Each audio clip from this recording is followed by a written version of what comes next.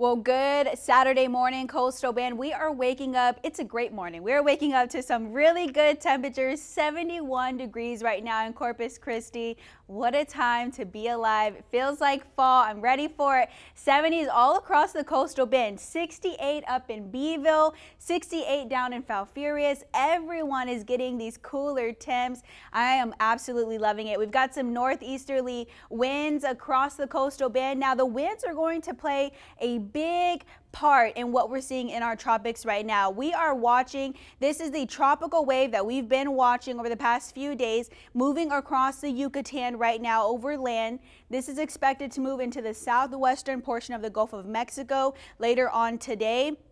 Now, with doing so, there is a chance of development. We'll explain what that means, but the National Hurricane Center marking this at 70% now chance of development over the next two days and 80% chance of development over the next five days. Now, what does that mean? Well, what it means is that it's expected to become a closed off low. So it will possibly become a tropical depression tomorrow. That's what we are looking at. But you see, it's now becoming this closed off low. All of those little wind patterns are circling. All, you know, wind is coming from every direction here. That will move closer to the Brownsville area Monday, which is, you know, we have rain chances going up tomorrow. But Monday, once it gets closer to our coastal bend, we are going to see heavy rainfall up and down the coast, possibly even stretching over to Louisiana. So even though the cone is sitting pretty low, it will kind of elongate up across our coast. So rain chances, what this means for us,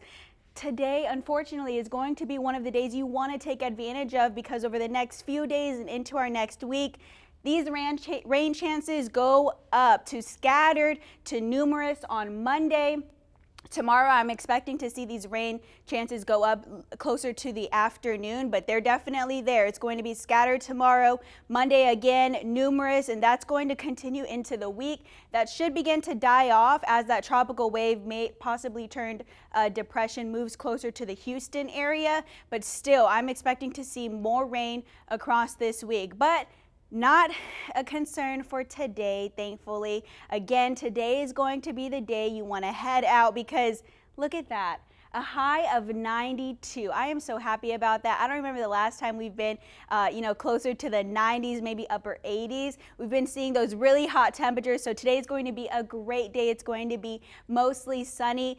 And still, we're not getting too far away from this heat. Feel like temperatures will be at 98 here in Corpus Christi, a low over 93 in Falfurrias, 94 over in Freer. So we're not in those 100s like we've been seeing. We may get away a little bit with that, but still it's going to be a hot one. So look at your seven day forecast. Not too bad if you like the rain.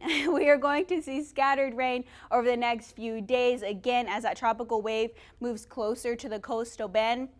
Rain chances should begin to die off. You see mostly sunny Friday, but other than that, we are looking at a rainy and cloudy week. So stay indoors or pack your umbrella if you've got to go out. Definitely be careful on the roads this upcoming week.